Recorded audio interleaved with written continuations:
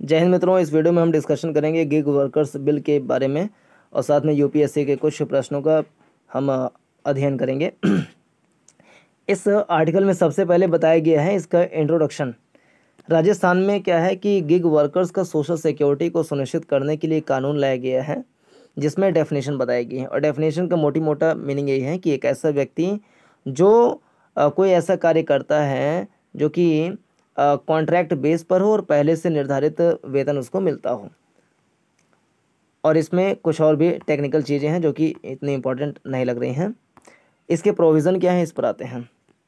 By not defining the gig workers as employees the bill is limited in its ability to integrate existing labour laws into its ambit तो राजस्थान के इस कानून में जो कमी है, वो है कि इसमें गिग वर्कर को एम्प्लॉय ना by not defining the gig workers as employ gig worker को एम्प्लॉय नहीं कहा गया है। तो इससे जो एम्प्लॉय को सुविधाएँ मिलती हैं, वो इनको नहीं मिल पाएँगी इसकी लिमिटेशन हो गई। Hence the aggregator will continue to be insulated from complying with the mandates of the labour laws and remain evasive from the responsibility by of providing the uh, gig workers with workplace entitlements. In 2022, leading the platforms in India is scored zero in the Fair Work India ratings. If a gig worker is not an employee, to what extent can be aggregator be held liable for medical expenses arising from accidents at work while carrying out the work Agreeably, a few platforms in India do have a provision on this, but such an approach runs the risk of converting crucial entitlements like occupational safety into benevolence on the part of the aggregator. In this regard, Australia and New Zealand have brought about key changes, key changes in their laws, where the vocabulary not no longer surrounds employer or employee but rather a person conducting a business or undertaking and a worker in their workplace.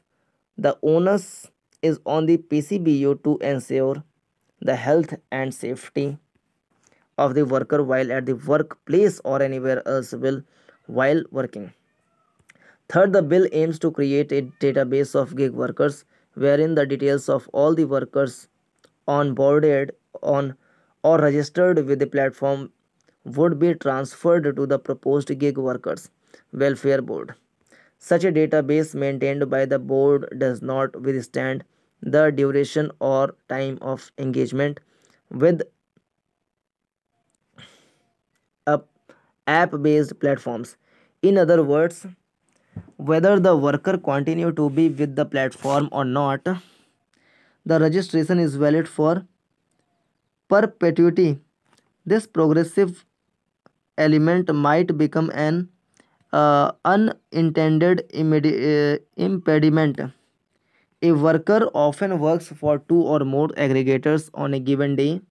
Would a mandatory system of registration enable the aggregators to get to know about the workers' details of employment which with multiple aggregators and come out with mechanisms that impair the opportunity choices before the gig workers?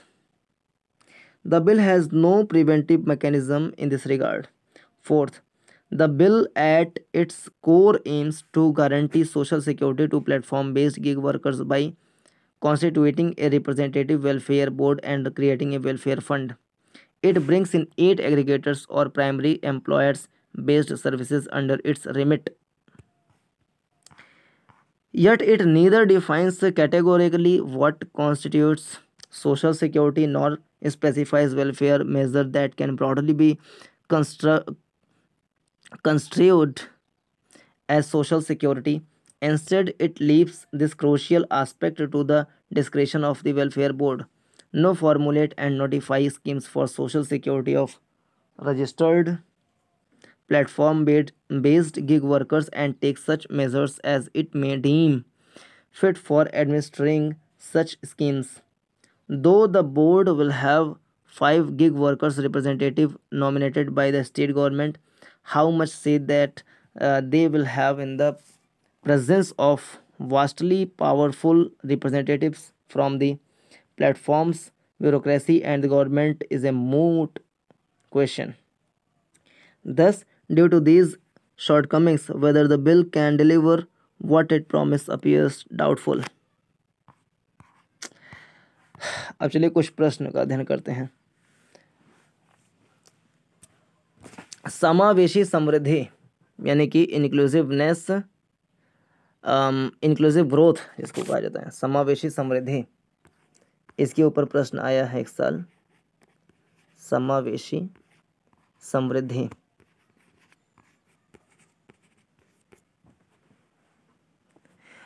प्रश्न है, यह तर्क दिया जाता है कि समावेशी समृद्धि की रणनीति का आशय एक साथ समावेशिता और धारणीयता के उद्देश्यों को प्राप्त किया जाना है। इस कथन पर टिप्पणी कीजिए। It is argued that the strategy of inclusive growth is intended intended to meet the objectives of inclusiveness and sustainability together यानी सस्टेनेबल डेवलपमेंट गोल अगर हम साथ में लेकर चलेंगे तो जो इंक्लूसिव डेवलपमेंट होता है, समावेशी विकास होता है, समावेशी समृद्धि होता है, वो सुनिश्चित किया जा सकता है। समावेशी समृद्धि का सीधा सा तात्पर्य होता है कि विकास की प्रक्रिया में सभी लोगों को साथ में लेकर चलना चाहे अमीर हो, चाहे गरीब हो, चाहे किसान हो, चाहे मजदूर हो, चाहे शहरी हो, चाहे ग्रामीण हो, चाहे महिला हो, चाहे पुरुष हो। इन सबको साथ में लेकर चलना ही कहलाता है समावेशी विकास। अब एसडीजी को साथ में लेंगे तो ही ऐसा होगा। मतलब धारणीयता हम कहें सस्टेनेबल डेवलपमेंट गोल है ना? सस्टेनेबल डेवलपमेंट कब होगा? जब, जैसे एस डी जी वन की बात करें एस डी जी वन में क्या बात कहा गया है? एस डी जी वन में कहा गया है नो पावर्टी अब नो पावर्टी को सुनिश्चित करने के लिए हम जो कदम उठाएँगे, वो समावेशिता हो जाएगा। एस डी जी टू में कहा गया है ज़ीरो हंगर तो लोगों की भूख मिटाने के लिए और कृषि में जो सतत कृषि होता है सस्टेनेबल फ़ार्मिंग उसको सुनिश्चित करने के लिए जो कदम उठाया जाएगा, वो कहीं ना कहीं समावेशी वृद्धि को बढ़ावा देगा। ऐसे एक सतत विकास लक्ष्य है स्वास्थ्य को लेकर के, कि सभी को अच्छा स्वास्थ्य मिले। एक है शिक्षा को लेकर। फिर है ऊर्जा को लेकर एक सतत विकास लक्ष्य है। फिर जलवायु परिवर्तन को लेकर के हैं, है ना? इंडस्ट्रियलाइजेशन अर्बनाइजेशन इसको लेकर के हैं। तो ये सारी चीज़ें, स्वच्छ पेयजल जो है, उसको लेकर के हैं। ये सब चीज़ें लैंगिक समानता को लेकर हैं। तो इन सबसे समावेशी विकास के गुण दिखाई पड़ते हैं। अब पढ़ते हैं इसके उत्तर को। विश्व बैंक के अनुसार समावेशी समृद्धि का तात्पर्य व्यापक आधार युक्त क्या? व्यापक आधार युक्त साझा और निर्धन समर्थक विकास से है। यह विकास की गति और पद्धति दोनों को समाहित करता है, जिसे अंतर संबंधित इंटरलिंक्ड माना जाता है, तथा इसलिए इसे एक साथ संबोधित करने की आवश्यकता होती है। दूसरी ओर समावेशिता की अवधारणा में, समावेशिता की अवधारणा में न्याय, संगतता, अवसर की समता, बाज़ार तथा रोज़गार में संक्रमण से सुरक्षा शामिल है तथा इसलिए यह किसी भी सफल विकास रणनीति का एक अनिवार्य घटक है। गरीबी में पर्याप्त कमी के लिए विकास की तीव्र गति निर्विवाद रूप से आवश्यक है। या लिख लें sustainable development and inclusive growth. गरीबी में पर्याप्त कमी के लिए विकास की तीव्र गति निर्विवाद रूप से आवश्यक है, लेकिन इस विकास के धारणीय बने रहने के लिए यह व्यापक क्षेत्रों में आधारित होना चाहिए तथा देश के श्रम बल के बड़े हिस्से को इसमें समाहित किया जाना चाहिए। विकास समावेशी और निर्धन समर्थक हो सकता है, यदि केवल गरीब लोगों की आय शेष आबादी की तुलना में तेज़ी से बढ़ती है। ठीक है। समावेशी विकास दृष्टिकोण एक दीर्घकालिक परिप्रेक्ष्य अपनाता है, जहाँ सुधारों और परिणामों के बीच समय अंतराल को पहचानना महत्वपूर्ण है। समावेशी विकास विश्लेषण उन नीतियों के बारे में है, जिन्हें भविष्य के टिकाऊ व समावेशी विकास के लिए अल्पावधि में लागू किया जाना चाहिए। सतत विकास का अनुसरण किया जाना चाहिए। इसमें हमें न केवल लोगों के संबंध में समावेशी होना चाहिए बल्कि पर्यावरण को भी इसमें समावेशिता किया जाना, समावेशित किया जाना चाहिए, जिससे संसाधनों की न्यूनतम हानि होगी तथा एक चक्रीय सर्कुलर अर्थव्यवस्था की ओर प्रमाण में मदद मिलेगी। पिछले कुछ वर्षों में सरकार आक्रामक रूप से अपने विभिन्न कार्यक्रमों और नीतियों में समावेशी विकास की रणनीति पर ध्यान केंद्रित कर रही है। जनधन योजना इसका सटीक उदाहरण है और जनधन योजना के तहत अभी तक देखा जाए तो पचास करोड़ से ज़्यादा खाते खोले गए हैं, जिसमें से छप्पन प्रतिशत खाते महिलाओं के हैं और सड़सठ प्रतिशत खाते ग्रामीण और छोटे कस्बों से हैं, जिसमें दो लाख करोड़ से ज़्यादा का बचत है। इससे सरकार के जो डीबीटी के माध्यम से कल्याणकारी योजनाएँ होती हैं, उसका सफल क्रियान्वयन किया जा सकता है। और इससे जो लीकेज होता है, करीब 2014 से 15 से ले 2015 से 2019 के बीच में करीब डेढ़ लाख करोड़ रुपए का जो लीकेज हो जाता है, उसकी बचत हुआ है सरकार को।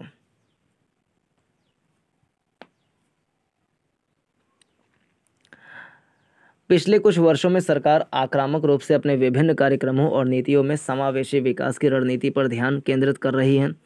जनधन योजना इसका सटीक उदाहरण है। पिछले कुछ दशकों में भारत के विकास की कहानी अभूतपूर्व रही है, लेकिन इस वृद्धि के परिणाम ज़मीन पर दिखाई नहीं दे रहे हैं। क्योंकि भारत ने कई सामाजिक संकेतकों और मानव विकास सूचकांक में भी बुरा प्रदर्शन किया है। इसलिए समावेशी समृद्धि, वर्तमान और भावी पीढ़ियों के लिए सतत और गुणात्मक विकास के सपने को साकार करने का एक विचार है। फिर इन्हीं सबसे संबंधित एक प्रश्न और है ये। वहनीय, यानी कि एफोर्डेबल विश्वसनीय धारणीय तथा आधुनिक ऊर्जा तक पहुँच संधारणीय विकास लक्ष्यों को प्राप्त करने के लिए अनिवार्य है। कुल मिलाकर के सस्टेनेबल डेवलपमेंट गोल अगर प्राप्त करना है तो इसके लिए जो ऊर्जा है, उसमें ये गुण होने चाहिए। कौन से गुण होने चाहिए? कि वो एफोर्डेबल हो। यानी कि उसको आराम से वहन किया जा सके, ख़रीदा जा सके, महँगा ना हो एफोर्डेबल हो। दूसरा, विश्वसनीय हो। लोग उस पर विश्वास करें रिलायबल हो वो विश्वसनीय हो। धारणीय हो, यानी कि सस्टेनेबल हो। और फिर आधुनिक ऊर्जा, यानी कि मॉडर्न एनर्जी तक सबकी पहुँच हो। तो सतत विकास लक्ष्यों को प्राप्त करने के लिए अनिवार्य है क्या? वाहनीय, विश्वसनीय, धारणीय, आधुनिक ऊर्जा तक पहुँच संधारणीय विकास लक्ष्यों को प्राप्त करने के लिए अनिवार्य है। भारत में इस संबंध में हुई प्रगति पर टिप्पणी कीजिए। डेढ़ सौ अंकों का, डेढ़ सौ शब्दों का प्रश्न है इंग्लिश में access to affordable reliable sustainable and modern energy is the sine qua non to achieve sustainable development goals comment on the progress made in India in this regard तो सतत विकास वह विकास है जिसके अंतर्गत आने वाली पीढ़ियों की आवश्यकताओं की पूर्ति करने की क्षमता से समझौता किए बिना वर्तमान पीढ़ी की आवश्यकताओं को पूरा किया जाता है। यह है डेफिनेशन सतत विकास वह विकास है जिसके अंतर्गत आने वाली पीढ़ियों की आवश्यकताओं को, की पूर्ति करने की क्षमता से समझौता किए बिना वर्तमान पीढ़ी की आवश्यकताओं को पूरा किया जाता है। अगस्त 2015 में संयुक्त राष्ट्र संघ द्वारा सहस्राब्दी विकास लक्ष्य, यानी कि M D G millennium development goals 2000 से 2015 के स्थान पर सतत विकास लक्ष्य या एजेंडा थर्टी को स्वीकार किया गया, जिसमें सतत विकास लक्ष्य या एजेंडा थर्टी भी इसको कहा जाता है, को स्वीकार किया गया, जिसमें सत्रह मुख्य लक्ष्यों तथा एक सौ उनहत्तर सहायक लक्ष्यों को निर्धारित किया गया। उन्हीं में से एक, यानी सातवां। लक्ष्य है सस्ती, विश्वसनीय, धारणीय तथा आधुनिक ऊर्जा तक पहुँच सुनिश्चित करना। ऊर्जा और इसकी उपलब्धता आज मानव सभ्यता के सामने आने वाली अधिकांश चुनौतियों और अवसरों को परिभाषित करती हैं। यह सर्वमान्य है कि आधुनिक ऊर्जा सेवाएँ मानव की भलाई के लिए आवश्यक हैं। किसी भी देश के आर्थिक विकास के लिए महत्वपूर्ण है तथा स्वच्छ जल स्वच्छता, स्वास्थ्य देखभाल एवं अन्य उपयोगी ऊर्जा सेवाओं को प्राप्त करने के लिए भी आवश्यक है। गरीबों की सस्ती, भरोसेमंद और आधुनिक ऊर्जा सेवाओं तक पहुँच सुनिश्चित करना गरीबी उन्मूलन के लक्ष्य को सक्षम बनाता है। वहनीय एवं विश्वसनीय तथा आधुनिक ऊर्जा प्रौद्योगिकी नवाचार के माध्यम से गरीबों तक पहुंचाई जा सकती है। यह गरीब समुदायों को स्थानीय स्वच्छ ऊर्जा संसाधनों का उपयोग करने के लिए सक्षम तो बनाता ही है। साथ ही संभावित राजस्व उत्पादन की अनुमति भी देती है। भारत ने सतत विकास लक्ष्यों के तहत वहनीय एवं धारणीय ऊर्जा को लोगों की पहुँच तक लाने के लिए कई महत्वपूर्ण कदम उठाए हैं। जैसे ऊर्जा दक्षता में सुधार हेतु national energy labelling programme. Green rating for integrated habitat assessment गृह की शुरुआत की है। स्वच्छ और नवीकरणीय ऊर्जा के लिए राजीव गांधी ग्रामीण एलपीजी वितरण योजना। राष्ट्रीय जैव ईंधन नीति बनाई है। साथ ही ऊर्जा संरक्षण एवं सुरक्षा हेतु क्लीन डेवलपमेंट मैकेनिज्म, राष्ट्रीय विद्युत नीति आदि को प्रावधानित किया है। सतत विकास लक्ष्य की पूर्ति हेतु भारत ने आईएनडीसी लक्ष्य निर्धारित करते हुए 2030 तक अपनी सकल ऊर्जा ज़रूरत का लगभग एक तिहाई हिस्सा नवीकरणीय ऊर्जा स्रोत से उत्पन्न करने का लक्ष्य रखा है। 2018 में एक प्रश्न पूछा गया ढाई शब्दों में कि भारत में नीति आयोग द्वारा अनुसरण किए जा रहे सिद्धांत, इससे पूर्व के योजना आयोग द्वारा अनुसरित सिद्धांतों से किस प्रकार भिन्न है? How are the principles followed by the NITI Aayog different from those followed by the erstwhile planning commission in India उत्तर एक जनवरी 2015 को केंद्रीय कैबिनेट द्वारा एक संकल्प पारित करके नीति आयोग, यानी national institute for transforming India, की स्थापना की गई। National institute for transforming India की स्थापना की गई। यह भारत सरकार का प्रमुख नीतिगत थिंक टैंक है।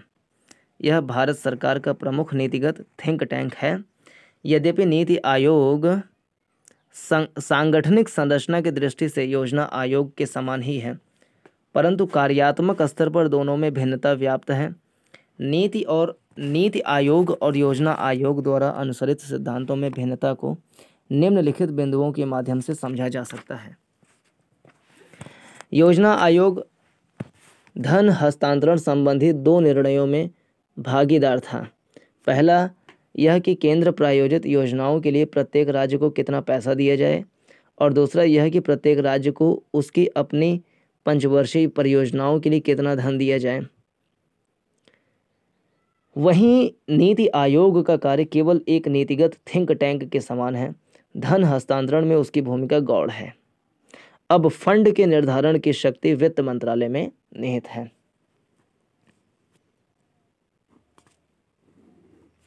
योजना आयोग तथा नीति आयोग में नीति निर्माण के दृष्टिकोण में भी भिन्नता व्याप्त है। नीति निर्माण के दृष्टिकोण में भी भिन्नता व्याप्त है।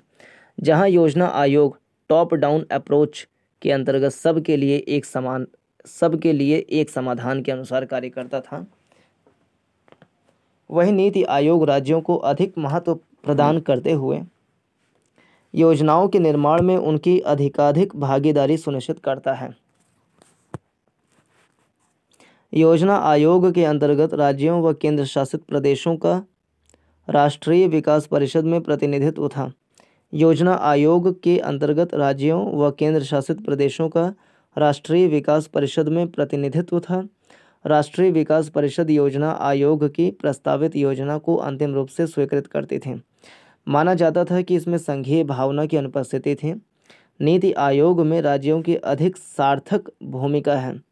राज्यों व केंद्र शासित प्रदेशों को नीति आयोग की कार्यकारी परिषद में प्रतिनिधित्व देकर संरचनात्मक सहयोग के माध्यम से सहकारी संघवाद को बढ़ावा दिया जा रहा है। राष्ट्रीय उद्देश्यों के प्रकाश में राष्ट्रीय विकास प्राथमिकताओं, क्षेत्रकों तथा रणनीतियों में साझे दृष्टिकोण के साथ राज्यों की अग्र सक्रिय भागीदारी प्रोएक्टिव पार्टनरशिप को सुनिश्चित किया गया है। योजना आयोग समय के साथ एक केंद्रीकृत निकाय में बदला गया था। योजना आयोग समय के साथ एक केंद्रीकृत निकाय में बदला गया था, जिसके पास प्रशासनिक शक्ति भी थी और वित्तीय नियंत्रण भी। वही नीति आयोग एक सामूहिक संघीय निकाय है, जिसकी शक्ति प्रशासनिक एवं वित्तीय नियंत्रण की बजाय उसके विचारों में है। जहाँ योजना आयोग पंच वर्षीय आयोजन के मॉडल का अनुसरण करता था, वही नीति आयोग ने पंचवर्षीय आयोजन के मॉडल को छोड़ते हुए योजनाओं का विघटन तीन स्तरों पर किया है। यथा तीन वर्षों के लिए अल्पावधिक कार्य योजना, सात वर्षों के लिए क्रियान्वयन योजना और पंद्रह वर्षों के लिए विजन दस्तावेज़। यह सही है कि योजना आयोग के मुकाबले नीति आयोग में संघीय भावना अधिक मज़बूत है, किंतु योजना आयोग के प्रतिस्थापन और राष्ट्रीय विकास परिषद के अप्रासंगिक होने से रचनात्मक बहस की कमी भी महसूस हो रही है। अतः नीति आयोग को निरंतर संपर्क संवाद करने वाले प्लेटफॉर्म के रूप में सामने आना होगा। 2017 में एक प्रश्न आया है कि भारत की संभाव्य समृद्धि, यानी पोटेंशियल ग्रोथ भारत की संभाव्य समृद्धि के अनेक कारकों में बचत दर सर्वाधिक प्रभावी है। क्या आप इससे सहमत हैं? समृद्धि संभाव्यता के अन्य कौन से कारक उपलब्ध हैं? 150 शब्दों का प्रश्न है ये। किसी भी देश की समृद्धि में अनेक कारकों के साथ ही उस देश का बचत दर का भी महत्वपूर्ण योगदान होता है। बचत दर में, बचत दर में वृद्धि पूंजी निर्माण में योगदान देने के साथ ही देश की स्थिरता, उपभोग पैटर्न, आर्थिक नीतियों को भी प्रदर्शित करती है। भारत में बचत दर का आकलन केंद्रीय सांख्यिकी कार्यालय द्वारा किया जाता है। भारत में बचत दर का आकलन केंद्रीय सांख्यिकी कार्यालय C S O central statistical office द्वारा किया जाता है। इसके अनुसार वर्ष उन्नीस सौ पचास इक्यावन में बचत दर जहाँ लगभग नौ प्रतिशत थे, वहीं 2007-8 में यह सैंतीस दशमलव सात प्रतिशत के स्तर तक पहुँच गई। इस दौरान निवेश दर बढ़ने के कारण देश की वृद्धि दर में भी वृद्धि देखी गई है। लेकिन पिछले कुछ वर्षों से घरेलू बचत दर में गिरावट दर्ज की गई है। इसके साथ ही बचत का उपयोग सोना खरीदने, रियल एस्टेट के क्षेत्र में होने से देश की वृद्धि दर में कमी आई है। अतः भारत की संभाव्य समृद्धि में बचत दर सर्वाधिक प्रभावी कारक तो है, लेकिन तब जब इसका निवेश उत्पादक क्षेत्रों में किया जाए। देखो भारत के संभाव्य समृद्धि में बचत दर सर्वाधिक प्रभावी कारक तो है, लेकिन तब जब इसका निवेश उत्पादक क्षेत्रों में किया जाए। बचत दर के अलावा समृद्धि संभाव्यता के कई अन्य कारक भी हैं, जैसे कि जनांक की लाभांश, वृहद घरेलू बाज़ार, आधारभूत संरचना का विकास ईज ऑफ़ डूइंग बिज़नेस विनिर्माण क्षेत्र का विकास। तो जनांक की लाभांश। भारत के पास कार्यशील आयु वर्ग की बड़ी आबादी है, जो कुल जनसंख्या का लगभग पैंसठ प्रतिशत है। यह लाभांश कुशल श्रम के रूप में कार्य करता है। वृहद घरेलू बाज़ार, भारत की 140 करोड़ क्या एक करोड़ आबादी इसे विशाल घरेलू बाज़ार उपलब्ध कराती है, जो कि अंतर्राष्ट्रीय बाज़ार के उतार चढ़ाव से भारतीय अर्थव्यवस्था को सुरक्षा तथा समृद्धि के अनुकूल अवसर प्रदान करती है। फिर आधारभूत संरचना का विकास। आधारभूत संरचना जैसे संपर्क एवं परिवहन के साधनों का विकास, उत्पादों के विपणन एवं भंडारण की सुविधा एवं शिक्षण संस्थानों की गुणवत्ता में वृद्धि इत्यादि भारत की समृद्धि संभाव्यता में वृद्धि कर सकते हैं। ईज ऑफ़ डूइंग बिज़नेस नीतियों तथा कानूनों की सरलता निवेशकों को आकर्षित करती हैं, जिससे आर्थिक गतिविधियाँ उत्पन्न होती हैं। विनिर्माण क्षेत्र का विकास, भारत में सकल घरेलू उत्पाद में विनिर्माण क्षेत्र का योगदान 24 प्रतिशत है। साथ ही इसमें वृद्धि की पर्याप्त संभावना। तो देश में समृद्धि संभाव्यता प्राप्त करने के लिए बचत दर एक तो उच्च होना चाहिए। जनांकिकी लाभांश, वृहद घरेलू बाज़ार, आधारभूत संरचना का विकास ईज ऑफ़ डूइंग बिज़नेस और विनिर्माण क्षेत्र का विकास।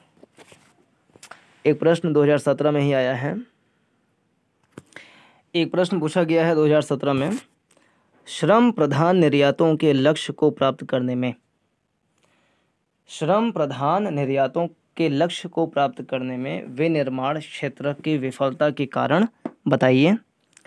पूंजी प्रधान निर्यातों की अपेक्षा अधिक श्रम प्रधान निर्यातों के लिए उपायों को सुझाइए।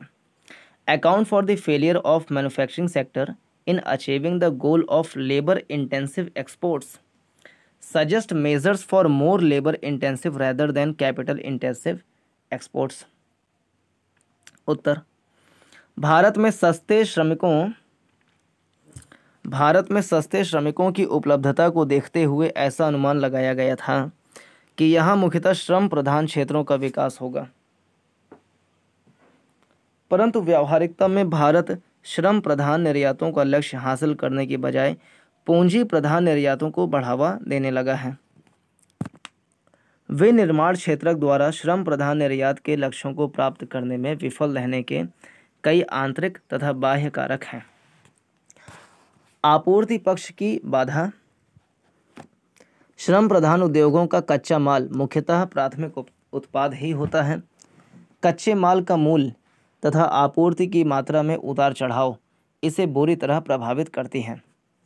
भारत में कठोर श्रम कानूनों के कारण, आपूर्ति पक्ष की बाधा। भारत में कठोर श्रम कानूनों के कारण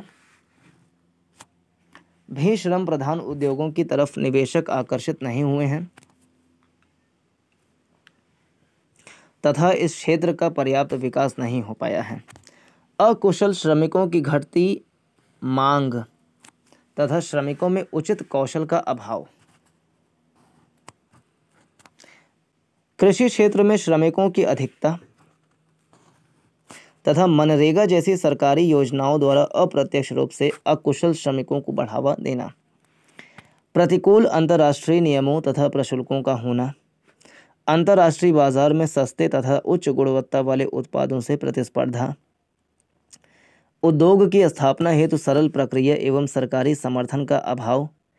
पूंजी प्रधान निर्यातों के स्थान पर यदि भारत श्रम प्रधान निर्यातों में वृद्धि पर ध्यान देता है तो विनिर्माण क्षेत्र का विकास होगा तथा रोज़गार के पर्याप्त अवसर उत्पन्न होंगे। श्रम प्रधान निर्यात में वृद्धि के लिए निम्नलिखित उपाय किए जा सकते हैं। उद्योगों की स्थापना की प्रक्रिया को सरल बनाया जाए। उद्योगों की स्थापना की प्रक्रिया को सरल बनाया जाए। करों में छूट की व्यवस्था की जाए, श्रमिकों की कौशल विकास तथा कच्चे माल की गुणवत्ता पर ध्यान दिया जाए, नवाचार तथा उत्पादकता सुनिश्चित करने के लिए निजी सार्वजनिक भागीदारी को प्रोत्साहन दिया जाए। इसराइल के एंजल लॉ पर आधारित एक कानून बनाया जा सकता है जो उच्च जोखिम वाली परियोजनाओं में निवेश पर कर योग्य आय में छूट प्रदान करता है। वाणिज्य एवं उद्योग मंत्रालय के अंतर्गत एक बोर्ड बनाया जाना चाहिए, जो वैश्विक मांग में हो रहे बदलावों का आकलन करें और बदलती प्रवृत्ति के अनुसार उत्पादों में परिवर्तन के सुझाव दे सकें। अब कुछ और आर्टिकल एक आध देख लें इसमें से। बिज़नेस स्टैंडर्ड का एक है। विश्व बैंक में सुधार आवश्यक है। लंबा आर्टिकल है। इसे बाद में पढ़ेंगे। दल बदल विरोधी कानून में अब बदलाव ज़रूरी है। इंपॉर्टेंट बाद में पढ़ेंगे। एक छोटा सा अब सूर्य। इसको पढ़ लेते हैं। चंद्रयान की कामयाबी के बाद भारतीय अंतरिक्ष अनुसंधान संगठन यानी इसरो ने सूर्य की बाहरी परत का अध्ययन करने की तैयारी कर ली है। भारत पहली बार आदित्य एल वन अंतरिक्ष यान सूर्य की कक्षा में भेजने जा रहा है। यह यान पूरी तरह स्वदेशी तकनीक से तैयार किया गया है। यह इस बात का एक और संकेत है कि भारत न केवल अंतरिक्ष अध्ययन की दिशा में अग्रणी देशों की कतार में शामिल हो गया है, बल्कि वह अंतरिक्ष यान बनाने में भी आत्मनिर्भर है। इसके लिए अब उसे दूसरे देशों का मुँह नहीं जोड़ना पड़ता। पहले ही उपग्रह प्रक्षेपण के मामले में भारत अंतर्राष्ट्रीय बाज़ार में एक भरोसेमंद और किफ़ायती तंत्र विकसित कर चुका है। दुनिया के बहुत सारे देश भारतीय प्रक्षेपण केंद्रों से अपने उपग्रह स्थापित कराने का प्रयास करते देखे जाते हैं। चंद्रयान तृतीय का प्रक्षेपण करके उसने यह भी साबित कर दिया कि वह न केवल बहुत कम लागत पर अंतरिक्ष यान तैयार कर सकता है, बल्कि उसे कामयाब भी बना सकता है। ऐसे में स्वाभाविक ही आदित्य एल वन पर सबकी निगाहें टिकी हुई हैं। सूर्य की सतह का अध्ययन सौर मंडल के दूसरे ग्रहों की अपेक्षा देगा सूर्य की सतह का अध्ययन सौर मंडल के दूसरे ग्रहों की अपेक्षा इसलिए कठिन माना जाता है कि वह जलती हुई गैसों का गोला है और उसके तापमान को सहन कर सकने लायक कोई धातु विकसित करना चुनौती है। अब मगर अत्याधुनिक दूरबीनों और तरंग मापी यंत्रों की मदद से उसकी हलचलों का अध्ययन करना कोई मुश्किल काम नहीं है। आदित्य एलवन को ऐसे सात यंत्रों से लैस किया गया है, सात यंत्रों से लैस किया गया है। यह उस बिंदु के आसपास रहकर सूर्य की हलचलों पर नज़र रखेगा। जहाँ सूर्य और पृथ्वी के बीच गुरुत्वाकर्षण और प्रतिकर्षण बल पैदा होता है। जहाँ सूर्य और पृथ्वी के बीच गुरुत्वाकर्षण और प्रतिकर्षण बल, गुरुत्वाकर्षण बल और प्रतिकर्षण बल पैदा होता है। दरअसल, सूर्य का अध्ययन इसलिए भी ज़रूरी लगता है कि सौर मंडल का यही ऐसा ग्रह है जिसका पृथ्वी के जीवन जगत पर सीधा प्रभाव पड़ता है। अगर सूर्य पर कोई हलचल होती है तो उसका स्पष्ट प्रभाव पृथ्वी पर दिखने लगता है। इसलिए अब जिस तरह पृथ्वी पर जलवायु परिवर्तन का संकट गहरा होता जा रहा है, उसमें सूर्य पर हो रही गतिविधियों का अध्ययन बहुत ज़रूरी हो गया है। पराबैंगनी किरणों, ओजोन परत पर सूर्य की किरणों के प्रभाव आदि की गहन जानकारी जुटाना अनिवार्य हो गया है। हालाँकि पृथ्वी पर सूर्य के प्रभाव को लेकर अध्ययन हज़ारों वर्षों से होता आ रहा है, मगर अब उस पर हो रही हलचलों और अंतरिक्ष में आ रहे असंतुलन की वजह से पृथ्वी पर जीवन के लिए बड़े संकट की आशंका जताई जाने लगी है। भारत से पहले अमेरिका, जर्मनी और यूरोपीय अंतरिक्ष अनुसंधान केंद्र 22 बार अपने यान सूर्य मिशन पर भेज चुके हैं। अमेरिकी अंतरिक्ष एजेंसी नासा अकेले 14 बार अपने यान भेज चुका है। उन अध्ययनों से सूर्य को लेकर काफ़ी कुछ बातें पता चल चुकी हैं, मगर अंतरिक्ष अध्ययन में जब तक अपने जुटाए आंकड़े न हों तो किसी निष्कर्ष पर पहुँचना आसान नहीं होता। फिर हर नया अनुसंधान पिछले अनुसंधानों से आगे के बिंदुओं को केंद्र में रखकर किया जाता है। सूर्य को देखने समझने की अपनी भारतीय दृष्टि तो है ही। अध्ययन यह भी है कि सूर्य का धीरे धीरे क्षरण हो रहा है, जिसके चलते पृथ्वी की स्थिति पर बुरा प्रभाव पड़ रहा है। वह क्षरण क्या हो रहा है? वह क्षरण क्यों हो रहा है? उसे रोकने का क्या उपाय हो सकता है? आदि विषयों पर भी अध्ययन हो, होने हैं। आदित्य एलवन से इस दिशा में बेहतर नतीजों की उम्मीद की जा रही है। एक भी छोटा सा आर्टिकल पढ़ लेते हैं।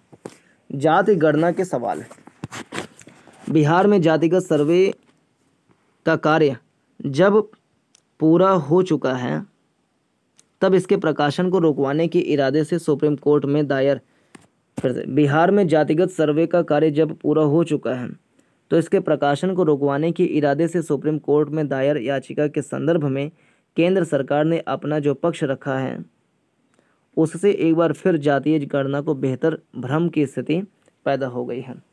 राज्य सरकार और केंद्र के बीच टकराव की स्थिति तो खैर बनी ही है। केंद्र की दलील है कि जनगणना कानून 1948 के तहत सिर्फ़ केंद्र सरकार जनगणना करा सकती है। और दूसरी कोई संस्था यह कवायद नहीं कर सकती हैं। वहीं बिहार सरकार का दावा है कि यह जनगणना है ही नहीं, बल्कि एक जातीय सामाजिक सर्वे है, जो राज्य में हाशिए के लोगों के कल्याण के लिए विशेष नीति बनाने के मकसद से प्रेरित है। अब यह मामला शीर्ष अदालत में है तो ज़ाहिर है, उसके फैसले के बाद ही इसकी वैधानिकता अंतिम रूप से तय हो सकेगी। मगर इस पूरे प्रकरण के राजनीतिक निहितार्थ कहीं अधिक गहरे हैं। दरअसल, बिहार और पूरे देश में धर्म व जाति की गोलबंदी में जुटी राजनीतिक पार्टियाँ इस गणना के सियासी नफ़े नुकसान के बखूबी वाकिफ़ हैं और आगामी आम चुनाव में इसके इस्तेमाल का मौका वे अपने हाथ से जाने नहीं देना चाहती इसीलिए जातीय गणना का सवाल सिर्फ़ बिहार तक सीमित नहीं रहा। मध्य प्रदेश में अब कांग्रेस अपनी सरकार बनने की सूरत में जातिगत गणना कराने का वादा कर रही है। पिछले दिनों सागर में कांग्रेस अध्यक्ष मल्लिकार्जुन खड़गे ने इसकी स्पष्ट घोषणा की। विपक्षी दलों के महागठजोड़ इंडिया के एजेंडे में भी यह एक अहम मुद्दा बनता जा रहा है। मगर 2024 के आम चुनाव को मंडल बनाम कमंडल की पार्ट टू लड़ाई बनाने में जुटी पार्टियों को नहीं भूलना चाहिए कि पिछले तीन दशकों में मतदाता बहुत परिपक्व हो चला है और एक के बाद दूसरे विधानसभा चुनावों में वह इसका प्रदर्शन भी कर चुका है। जातीय गणना को लेकर खड़े हुए ताज़ा विवाद ने राष्ट्रीय जनगणना के सवाल को भी ज़िंदा कर दिया है। आखिर कोरोना के कारण अपने तय समय पर न हो पाई यह ज़रूरी कवायद अब कब होगी? इतना तो स्पष्ट है कि अगले आम चुनाव से पहले अब यह काम संभव नहीं। ऐसे में राज्य सरकारों के पास आधिकारिक डाटा जुटाने के लिए और क्या विकल्प बचता है? साल 2011 की जनगणना के बाद राज्यों में काफ़ी प्रगति हुई है और उसके आंकड़ों से तरक्की की धारा में पीछे रह गए। लोगों को सही लोगों को सही सही लक्षित कर पाना कठिन है, जबकि उनके उत्थान के लिए कार्यक्रम चलाना राज्यों का दायित्व भी है और ज़रूरत भी। बेहतर होता कि जातीय गणना को सियासी फुटबॉल बनाने के बजाय एक ईमानदार कोशिश के तौर पर पेश किया जाता। जब राष्ट्रीय जनगणना में धर्मों की गिनती से हमारे सामाजिक ताने बाने को कोई नुकसान नहीं पहुँचता तो कोई कारण नहीं कि जातियों की गिनती से अराजकता फैल जाए। जाति व समुदाय सामाजिक सच्चाई हैं। उनके आधार पर हमारे देश में आरक्षण की संवैधानिक व्यवस्था भी है। सटीक आंकड़े इस व्यवस्था के लिहाज से भी ज़रूरी हैं। अपने अधिकारों के प्रति जागरूक समाज लोकतंत्र की कामयाबी की पहली शर्त है। इसलिए संकीर्ण ध्रुवीकरण के नज़रिए से देखने के बजाय जाति के मुद्दे को सामाजिक उत्थान की दृष्टि से देखा जाना चाहिए, ताकि भविष्य में फिर कभी न अदालतों का वक्त जाया हो और न ही लोग किसी छलावे के शिकार बन सकें। तो ये रहा इस वीडियो का डिस्कशन नमस्कार, जय हिंद।